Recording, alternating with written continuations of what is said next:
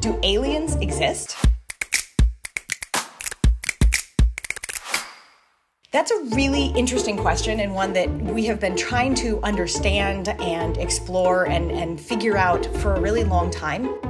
We have not yet discovered life on any other planet. We haven't seen any scientifically supported evidence for extraterrestrial life.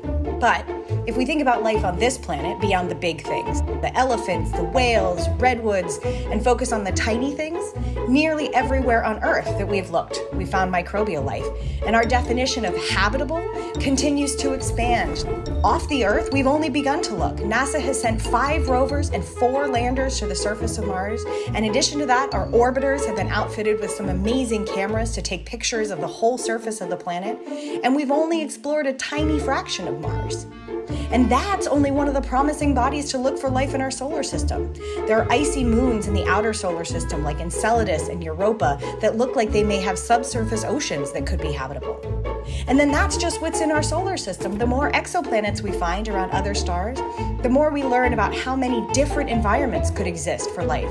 So we can't yet say for sure whether or not aliens exist. But to quote Carl Sagan, the universe is a pretty big place. If it's just us, it seems like an awful waste of space. So, we will keep looking.